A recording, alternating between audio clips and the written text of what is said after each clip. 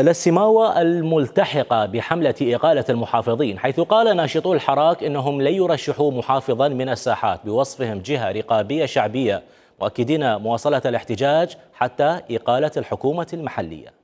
إحنا شرطنا كمتظاهرين أعطينا تعهد وألزمنا أنفسنا بأن أي ناشط أو أي متظاهر متصدي حاليا لا يرشح لهذا المنصب. ولكن نبقى كجهة رقابية للمحافظ الجديد بإعطاء فترة معينة بإعطاء فترة معينة حتى يغير واقع المحافظة. هناك أموال مهدورة هناك أموال قادمة هناك ضعف في إدارة المحافظة هناك فساد مستشري. موقفنا ثابت موقفنا ما يتهزهز ولا يتضعضع ولا ابدا ثابت وهاي مظاهراتنا ثابتة إلى أن يقال المحافظ ونائبيه